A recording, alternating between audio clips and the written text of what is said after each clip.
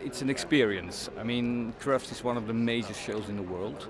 Uh, it's also the, the, yeah, the home country of the Wolfhounds.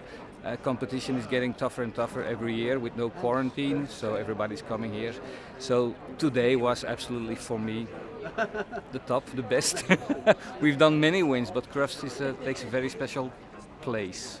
It's, it's, it's one big show. It's, it's amazing. It's difficult to, yeah, to tell how.